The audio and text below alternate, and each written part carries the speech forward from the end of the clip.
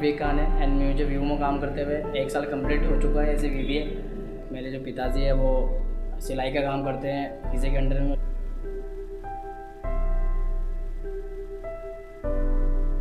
जो मेरी मम्मी है वो हाउसवाइफ है। जो मैं, मेरा फ्यूचर व्यू में एज ए ट्रेनर देखता हूँ, क्योंकि बिफोर ज्वाइनिंग व्यू मैं इम्पल्स मार्केटिंग में काम करता था, जहाँ हमारा काम होता था। कि सुबह हम जाते थे डोर टू डोर या कोई हॉस्पिटल हुआ या कोई कॉलेज हुआ, वहाँ पे हम बुक सेल करते थे। बट फिर मुझे किसी मेरे फ्रेंड ने सजेस्ट किया वीवो ज्वाइन करने के लिए।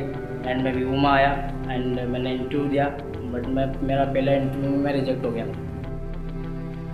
बट देन मैंने आफ्टर मैंने वीवो के बारे में जाना कम प्रोडक्ट्स के बारे में जाना नॉलेज ली कल्चर के बारे में जाना। एंड उसके बाद मैं वापस वीवो में गया।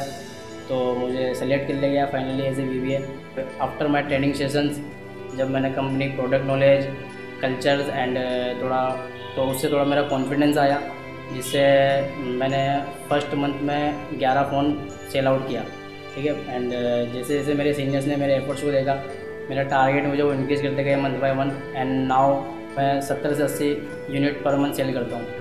एंड जो मैं कमाता हूँ या जो भी मैं अर्न करता हूँ वीवो से, जो मेरा इंसेंटिव आता है, उससे हमने मतलब अभी हमने मकान बनाया है एंड जो मेरा एक भी कभी कभी इंसेंटिव स्कीम अच्छी आती है तो मेरा टारगेट हो जाता है। तो उससे मैं जो पापा का जो लोन लिया हुआ है, उस पर मैं स्पेंड करता हूँ। मेरे बहन भाई की जो स्टडीज़ वगैरह है, उस पर मैं उसको खर्चा करता हूँ।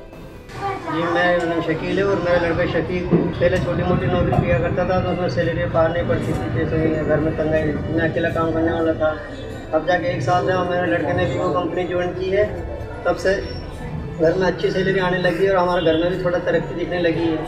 वीवो कंपनी से जुड़ने तो उसके हाथ में पैसा रहता तो फिर वो अपनी बहनों की पढ़ाई के लिए भी देता है। अपने छोटे भाइयों को जो बोलता है हफ़्ते में एक बार जैसे मतलब महीने में एक बार बोलता है मेरी सैलरी आएगी तो बेटा अपन यहाँ जाएँगे भाई को बोलता है तो घूमने भी जाता है अपने बहन भाइयों को लेके जाता है।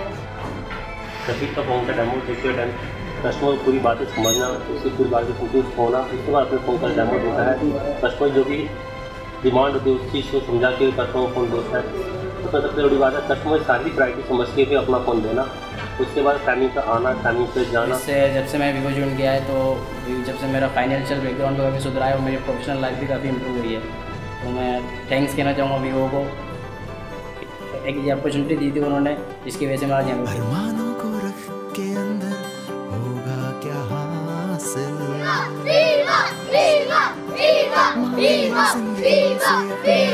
हिस्से की मंजिल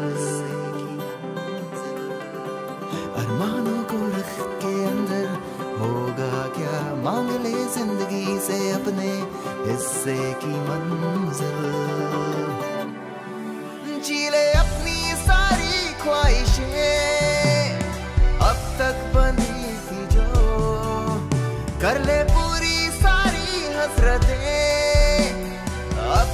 कर